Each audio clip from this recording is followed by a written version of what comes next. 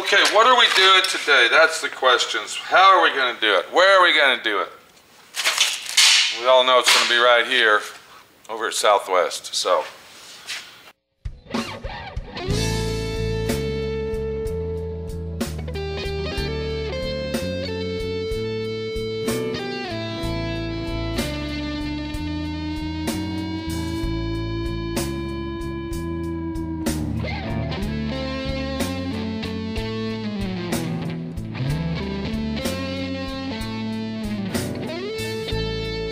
We're going to go ahead and install.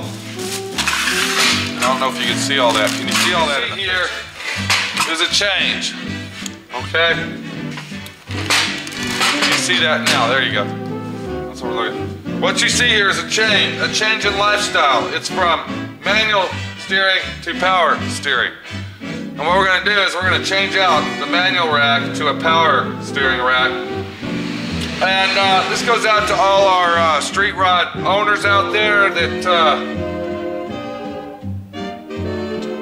decided they wanted uh, power steering instead of uh, manual steering when they built their cars. They should have put the power steering on in the first place.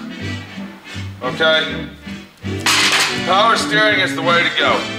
If you are building a street rod, whether it's a fiberglass kit car or a steel body car or a hot rod or a lead sled or whatever, power steering is the way to go. If you have a car that you just purchased and it has manual steering on it, and it's a pain in the ass to turn and you're starting to feel the muscles grow in your arms like Popeye the Sailor Man, power steering is the way to go. So, what you're gonna do is you're gonna get a power steering putt. Now, the owner decided he wanted a nice chrome one. Okay, chrome is good, chrome is nice. Okay? So you gotta buy your power steering putt. Now, the problem we have is we're putting a Mustang 2 rack in this car. If you look right here, okay? That's brand new, rebuilt, reconditioned, brand new, rebuilt, reconditioned, okay? The problem we have now, okay, now this is important. This is where we start getting into the hard stuff. When you install this in your car, okay, and what's gonna happen with the power rack, your steering is gonna take off on you at a variable high speed, okay? It's gonna go bam, okay? When you turn your engine on, your steering wheel will take off, okay? And then it'll start going bam, bam, mm, mm, mm, ooh, ah, ah, ee, ee, ee, ooh, ooh, ooh, ah, ah, ah. Okay, why is that? Let me tell you why that is. Because our General Motors, okay, pump is pressing, putting out too much high volume pressure for our Mustang 2 rack, okay? So what we gotta do to fix that, let me get that off, let me do that again. Mustang 2 rack, okay? So what we gotta do to fix that, we have to go ahead and purchase us a valve kit, and this is just one company that sells them. Okay, I'm letting you read that so you know what you're looking at. And what this is, this is a pressure valve kit. What this does, this replaces the valve, the pressure. This will fix the pressure in our pump, okay? It will downsize the pressure. Uh, what can I say here? Lower the volume, okay? Lowers the pressure so it'll be equal to what our pump requires. Now where that valve is uh, at is right behind, right here, see? It's behind that big nut right there. So the first thing you want to do, you want to go ahead and knock that baby out of there, see? Get the right socket. So you get the socket that fits, okay? And if you don't have an impact, get your buddy to hold that thing and put a lot of brute force on it, okay? While you're taking it off. What we're gonna do is bump it loose. Take that out. Now I'm gonna open my valve kit. I'm gonna show you this, okay? I'm gonna show you what it looks like. Do not lose any part in your valve kit. All it consists of is a valve housing and washers, okay? See there? All right, now what I do, it's actually designed, let me get that out of there, to use the directions. You look very close, see? Here's the directions how to put it in. It's a very explanatory system. It's a nice pictorial system. Okay? And that's the valve that we are working on. All right?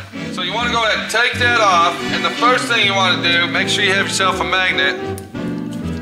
Okay, get all the dirt off your magnet so it's clean. You want to go ahead and get your flow valve. I cut on. I cut on. You want to go ahead and get your flow valve out of the pump. Now, if you look real close, you can see, if you look real close, see right there? Okay, let me back it, there you go. We gotta take that nut off of the flow valve. That is where our washers go. That's where we're gonna put our washers. So, when you take this out, you wanna be very cautious because there is a spring inside that valve that we do not what the fuck is going on? Huh. Fucking rubber gloves. There's a spring in there that we do not want to lose, see? Very important to take your time and take that off. Leave everything, be very careful not to tip over the valve. There's a lot of external, internal parts in that that you don't want to lose, such as a little ball bearing, there's a pin and a spring So be very careful not to tip that over. Now, the next thing you do, okay, is you get your little washers, which are your shims. And a Mustang rack requires approximately a thousand pounds of pressure. So what we're gonna do is look at our chart over here. And it's gonna tell you, okay, the first shim, if you can see that. Okay, let me get it zoomed in. There you go. You can see the pressure of every shim that you put on there. And you can also see that it tells you exactly what a Mustang rack takes. Now Mustang racks are the most common use for these valves because that's usually what everybody changes their steering over to. So we're gonna put three on there. That's gonna equal out, no, we're gonna put, uh, yeah, three shims will equal 1,000 PSI. So I got my three shims. Go ahead, with our valve standing up straight, go ahead and reinstall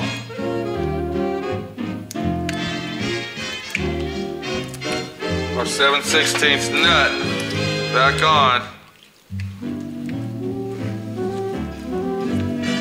our valve, just like so. Go ahead, if there's no trash on your valve, stick your valve back into the body. Make sure it slides in there. There's a spring in there. Make sure that the spring is working properly. Then, if your O-ring, this is a brand new pump, so our O-ring is good. Okay, our kit actually comes with a brand new O-ring. So that's really nice of them to do that. So I'm not going to replace it because that's a brand new one on there. Okay. And I'm going to go ahead and put my valve back in the pump.